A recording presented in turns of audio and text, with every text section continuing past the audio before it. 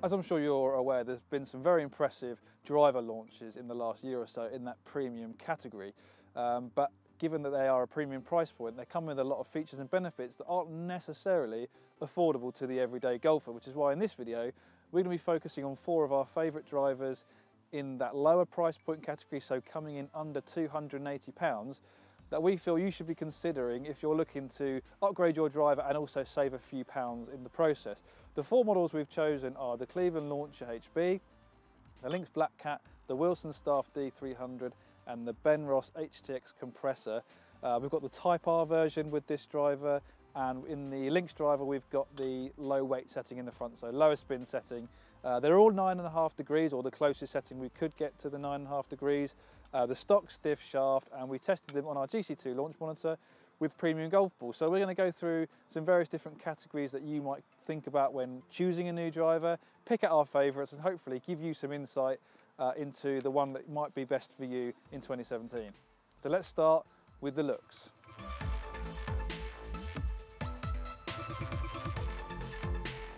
So let's start in the looks category. Obviously it has a big influence on aim and also the confidence that you get over the ball. And the two that I've picked out in this category are the Lynx Black Cat and the Cleveland Launcher HB. Uh, we'll start with the Lynx Black Cat. What I like about this driver is very simple, kind of no gimmicks or fussy graphics on the front, very simple matte finish. I think it comes in a couple of different color options. I've got the, the blue here, so a nice matte blue finish contrasting with the black face. Uh, very easy to align, very simple shape. Uh, really love the look of this driver. And then the other one, obviously the Cleveland has got a little bit more going on with this driver. You've got this uh, step in the crown, which improves the performance, but also the way they've given it a white line, a white edge to it actually helps with alignment a little bit as well. Obviously has a large profile as well down at address, which I like, inspires a lot of confidence. So those are the two I've picked for me, the two standout drivers in this category.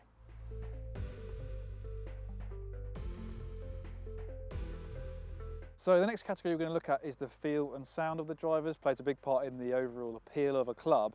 And I've actually picked the same two drivers that as I did for the looks category. Don't worry, the others do get a look in further down the video. But in terms of feel and sound, these two stood out for me. The Cleveland Launcher has a, quite a loud, high-pitched sound and a very firm feel, but also a very powerful feel across a wide area on the face, and I really enjoyed that.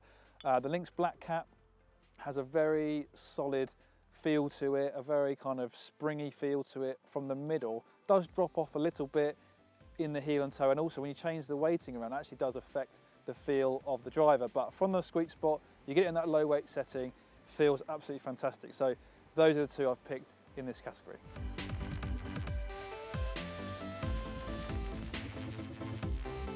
Okay, so moving on to distance, arguably the most important category when assessing a driver's performance, or perhaps the ones that golfers would look at first.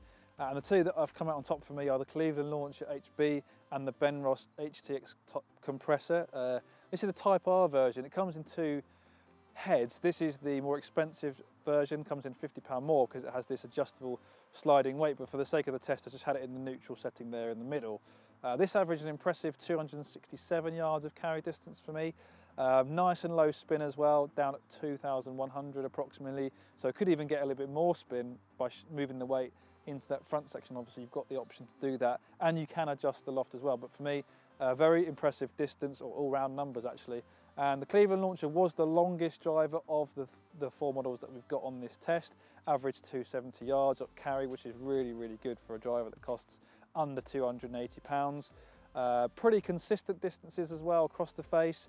Um, a lot of the distance might come down to the shaft length, 45 and a half inches for this shaft, so that might contribute to some extra head speed uh, while losing out for, on control for some. For me, I actually found it quite easy to control, but for others, you might find that extra shaft length uh, limits the accuracy that you experience. But for me, in terms of distance, these two came out on top. Worth noting that the other two were only uh, two yards uh, and a further two yards behind the Benross. So there wasn't much in it, but these two came out on top.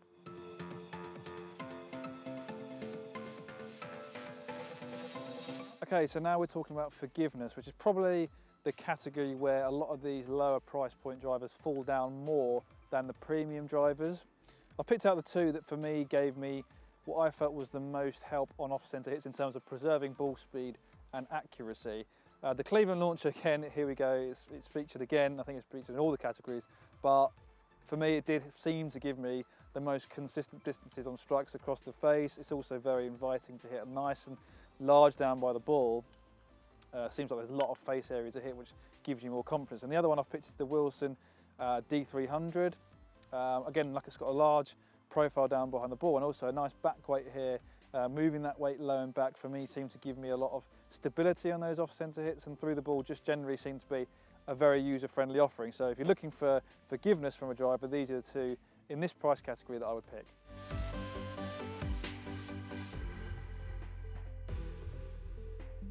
So in terms of value, for me, there really was a standout performer, and that is the Benross HTX Compressor Type R driver. It's actually the cheapest of the four drivers we featured in this video, coming in at £199.99. pence. And even at that price point, you're getting a host of adjustability, so adjustable loft on the hosel, a nice sliding weight here, three different settings, draw, neutral, fade, so you can adjust your shot shape to counter and miss or maximize distance or accuracy depending on what you're looking at. Uh, I like that it's at an angle, so moving the weight into the toe will give you more fade, but also lower the spin slightly because of the angle. It's close to the face, should reduce spin slightly. You've also got a pretty premium shaft off offering the Kuro Kage uh, Mitsubishi Rayon shaft, so uh, that's featured in uh, premium drivers down the years. So decent shaft offering, lots of adjustability, looks pretty good as well too. Uh, coming in under 200 pounds for me, the standout winner in the value category.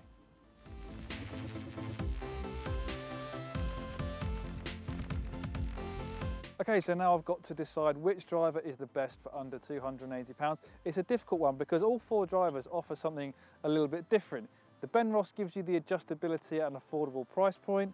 The Wilson D300 gives you that light feel. It's a very lightweight shaft, lightweight club head, which should give you a little bit more club head speed.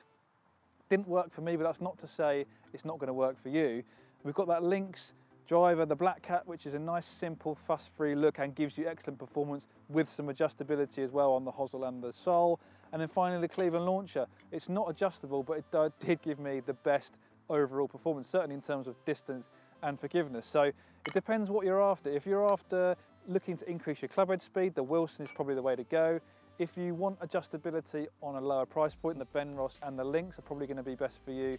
And then finally, if you want an out and out kind of simple offering that you don't have to worry about custom fitting or things like that, but you know you're gonna get performance, the Cleveland Launcher is the one to go for. For me, if I had to pick a driver from these four, it would be the Cleveland Launcher. It does come in at the top end of the price point that we're talking about here today, so 279 pounds that is. A little bit more expensive than the Benross and the Lynx. The Wilson does come in at that same price point. But for me, the Cleveland Launcher was the standout model in terms of off-the-shelf performance, a very simple offering excellent distance, excellent forgiveness. So that would be the one I would choose out of these four. But hopefully you found that video useful. If you're looking for a new driver and also to save a few pounds, have a try with them all. Obviously, if you're thinking about getting a new driver, try and get custom fitted. At least pick the right loft for your game under the watchful eye of a PGA Pro. And hopefully you'll experience some good performance and save a few pounds in the process.